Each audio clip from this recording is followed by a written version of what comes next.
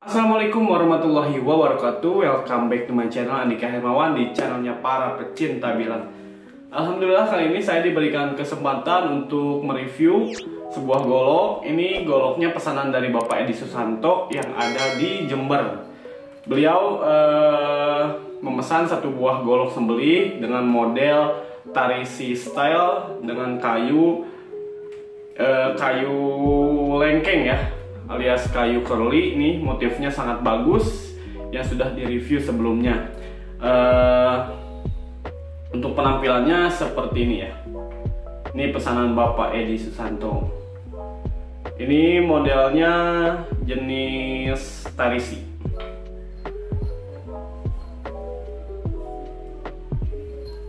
Oke, kita review dari sarungnya dulu.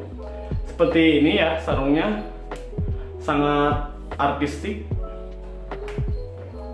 Ini uh, membentuk motif tiger, alias motif macan. Ini kayunya dari kayu lengkeng. Dan untuk uh, bentuk sarungnya seperti ini ya, jadi dipapas. Jadi sangat indah, sangat rapi sekali garapannya ya mantep banget oke agak ke depan sangat mantep ya ini. Dipadukan dengan kayu snorkeling hitam dan coklat di sini ya. Mantap banget. Dan handle-nya ini sama dari kayu curly juga. Di papas juga bisa dilihat tuh.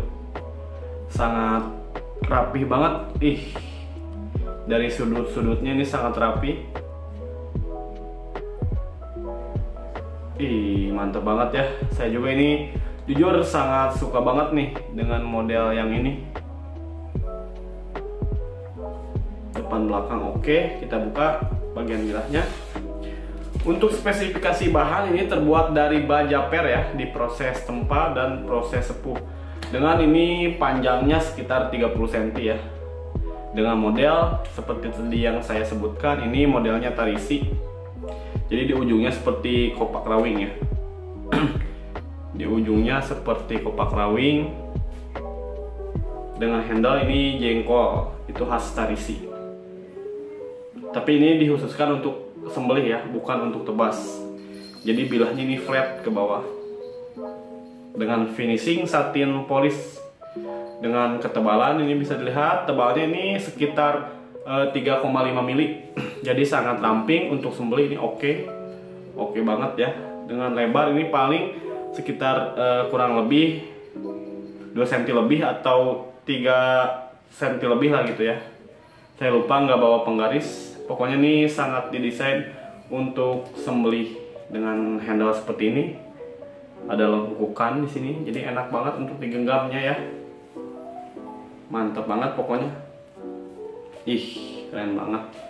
Oke, langsung kita tes ketajamannya pakai media plastik dulu ya.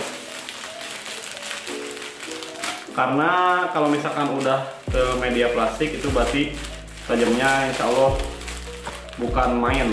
Tajamnya sudah bisa sembelih sapi beberapa tanpa asap ya. Oke, ini ngambilnya kebanyakan. Kita coba. Pak Edi Susanto nih goloknya ya. Kita coba pakai media kresek. Bismillahirrahmanirrahim. Oh. Pak ini sangat mengerikan ya. Ketajamannya sudah siap sembelih. Seperti yang Bapak inginkan ya menyembelih sapi ketika Idul Adha. Ini goloknya sudah siap insya Allah. Ih ini kresek ya. Sangat tipis tapi mampu dibelah oleh golok ini coba bikin lusuh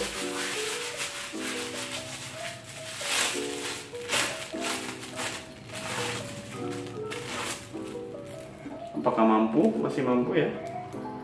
Oke. Oh ketajamannya tidak usah diragukan lagi. Kita coba sekali lagi ya.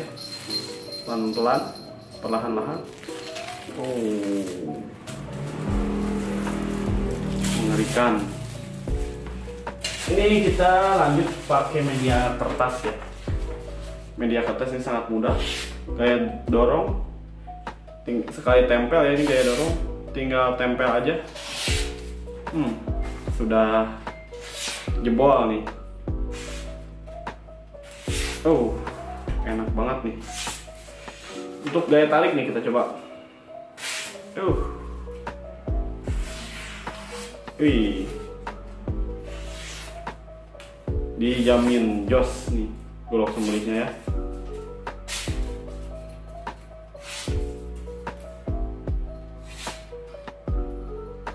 Eh ngeri. Silahkan nih buat teman-teman yang minat dengan golok tarisi style ini bahan baja per panjang bilah 30 cm dengan kayu ini kayu lengkeng tiger wood motif bagus ya harga sangat murah. Ini barangnya ready ya ready stock. Jadi nggak usah nunggu untuk proses pembikinan. Jadi bukan sistem PO kita barangnya sudah ready. Ini harganya sangat murah meriah ya. Buat teman-teman yang berminat ataupun yang ingin seperti Bapak Edi Susanto memiliki satu buah golok istimewa yang harganya sangat murah meriah. Penasaran ya dengan harganya? Kita langsung sebutkan saja. Ini harga dijamin murah meriah hanya 330.000 saja ya. Untuk satu buah golok sembelih ini. Itu belum termasuk ongkir dari Cibatu Sukabumi. Dan goloknya pun ini sudah keadaannya sudah tajam ya sudah seperti di video ini bisa ke plastik sudah slice plastik ya sudah dipastikan tajam karena sebelum kita kirim ini pasti melalui uh, asah ulang ya.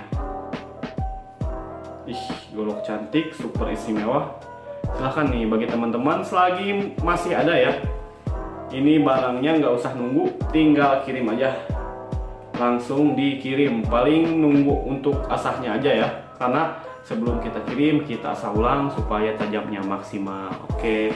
Terima kasih buat teman-teman yang setia uh, menonton video ini jangan lupa like subscribe dan komen ya. Mudah-mudahan saya doakan buat teman-teman semua dilancarkan rezekinya dilancarkan dalam segala urusannya dan tentunya berkah selalu. Oke. Terima kasih. Wabillahi taufiq wassalamualaikum warahmatullahi wabarakatuh